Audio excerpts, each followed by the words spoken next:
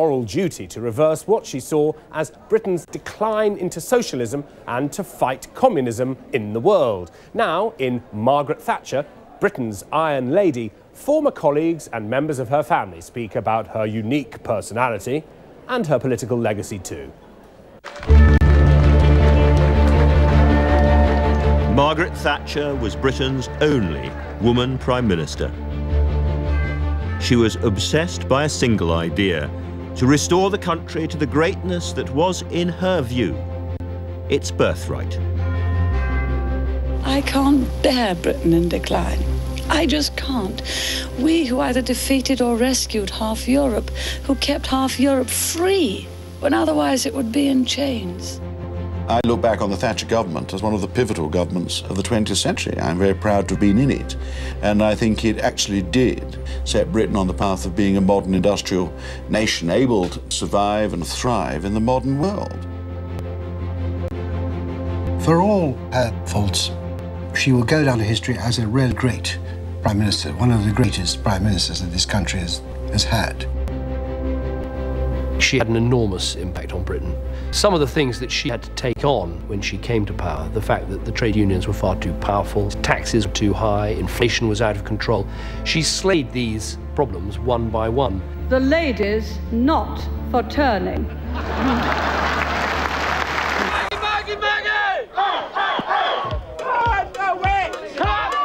But her brand of conservative radicalism alienated and upset many and brought discord in its wake. Many of her achievements are still argued about to this day. It was absolutely terrific, wasn't it? Which factories closed? Margaret Thatcher was a person who couldn't see or didn't want to see the unfairness of what she thought to be a, a renewing ideology. In the Thatcherite period, the rich did get richer. But what made it exceptional was that the poor got poorer for the first time in over a century. She excited great hatred amongst her enemies, more than I think any other politician of my time. She's not the only one who aroused great enthusiasm amongst her friends, but I can't think of any other politician of my time who excited so much hatred. She's one of those rare politicians about whom it's impossible to be agnostic. I think for decades to come, people will have a view about Margaret Thatcher, for or against. And when you think of the procession of blandness that goes through political life, it's quite a thing for that um, grocer's daughter to have achieved.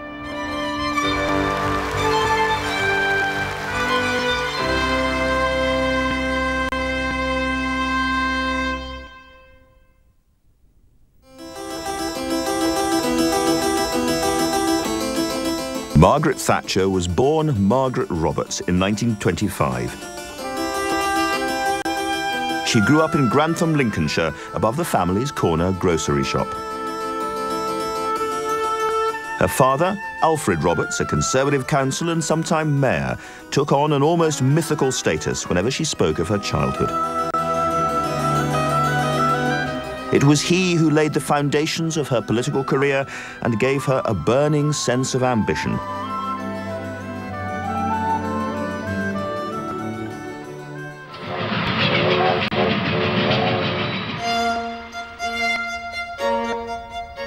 Margaret went up to Oxford in 1943 to read chemistry at the All-Women's College Somerville. This earnest young woman worked hard at her chemistry and joined the Conservative Association. Her political ambition was becoming more focused. She campaigned successfully to be leader of the Tory students and began to think about her future. When my mother asked her what she wanted to do when she left Oxford, and she said straight away, I want to be an MP. She didn't say more than that, just, I want to be an MP. And of course, she went for it. In 1947, the future Prime Minister began a career as a research chemist. In her spare time, she studied to become a lawyer and joined the Young Conservatives. she caught the eye of Denis Thatcher, a rugby-loving businessman who shared her right-wing outlook. In 1951, aged 26, Margaret married Denis. It was to be one of the great unions of modern politics. 27, Margaret gave birth to twins Carol and Mark. When the twins were six, Mrs. Thatcher began to look for a safe seat from which she could launch her political career. As a pioneer career woman, though never a feminist, in a conservative world, she didn't find it easy to be selected. It was the association members of Finchley in North London who recognised her talents. This was the final meeting of the selection, and I went along with the thought that if there's a lady there, I wouldn't vote for her because they didn't, you know, um, they didn't have the same standing as men in those days. Until I got there and heard her speech and answering questions, and she completely changed my mind. There just was no hesitation in my mind that uh, she was the one for Finchley and Friern Barnet. And so I voted for her. To the new Parliament, the Conservative Party returns victorious. To an extent few When Harold Macmillan won the general election of October 1959 for the Conservatives, Margaret Thatcher joined the ranks of his backbenchers. She was 34. In 1965, the Conservatives voted in a new leader, Edward Heath. Edward Heath's government lurched from crisis to crisis. In a famous U-turn, it ditched its earlier radical policies. In 1974, there was a national coal strike. The country was reduced to a three-day working week to save fuel. A nation working under candlelight was the final blow to Heath's government. It's almost impossible these days to imagine what Britain was like before Thatcher. Britain in the 1960s and 70s was, in European terms, a failed state uh, Ted Heath felt the country had become ungovernable. Uh, the word strike was in every page of every newspaper almost every day. Uh, public services really were collapsing. This country was a mess. Behind the scenes, right wingers like Mrs. Thatcher started to think about a new type of economics to heal Britain's woes. They wanted to challenge the post war consensus and turn back the ratchet of socialism. We were defeatist at home and an object of pity abroad, and something had to be done. Following the turmoil of the three-day week, Ted Heath went to the country and was defeated. Although he hung on to the leadership of the Tory party, forces were at work to remove him. To the surprise of many, Margaret Thatcher took the initiative and declared herself the rights candidate for the leadership. She was the only one in the cabinet who didn't feel inhibited by ties of loyalty to Ted Heath.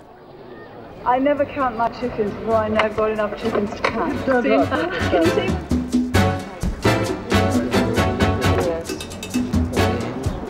Initially, there was a certain amount of prejudice against her standing.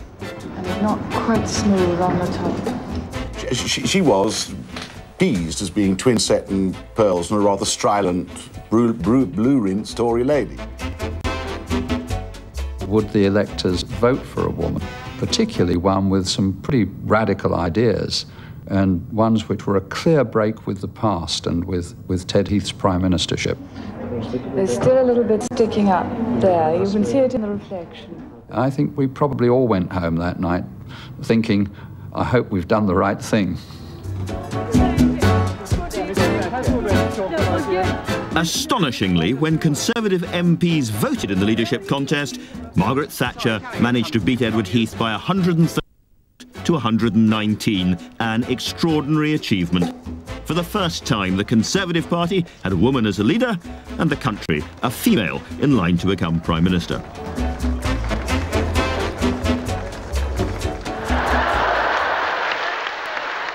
She appealed directly to her faithful followers, the party rank and file, who loved her no-nonsense right-wing philosophy. Madam Chairman, ladies and gentlemen, I presume this is to enable us to sweep Britain clean of socialism. A series of strikes in 1978 and 79, dubbed the Winter of Discontent, had done terrible damage to Labour government and gave the Tories a real chance of victory at the 1979 general election. Mrs. Thatcher campaigned as would be expected without cease, playing to the cameras up and down the country. Open an adventurous playground of hypocrisy. And it's all voluntary, dear. Are you prepared to give something to it? Because I will. Her mission was clear and simply stated. I just hope that they will take me as I am, for what I can do, not as man or woman, but as a personality who has an absolute passion for getting things right for Britain. I can't bear Britain in decline. I just can't. We who either defeated or rescued half Europe, who kept half Europe free when otherwise it would be in chains. And look at us now. I just hope they'll look at that and say, does it matter whether it's a man or a woman? Isn't it just best to get it right?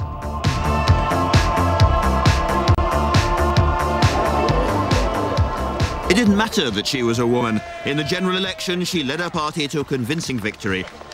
Her majority was 43. Here they were welcoming Mrs Thatcher, the first woman to lead a party in a general election in Britain and now set to become Europe's first woman Prime Minister. Well, at a quarter past four this morning, there were jubilant scenes at the Tory Central Office in London. So what are your plans now? Oh, but I'm staying here. We're having a marvellous party. We've got quite a lot to celebrate already. On the 4th of May, 1979, Mrs. Thatcher, aged 53, arrived at the door of number 10. I would just like to remember some words of St. Francis of Assisi, which I think are really just particularly apt at the moment. Where there is discord, may we bring harmony. Where there is error, may we bring truth. Where there is doubt, may we bring faith. And where there is despair, may we bring hope. There is now work to be done.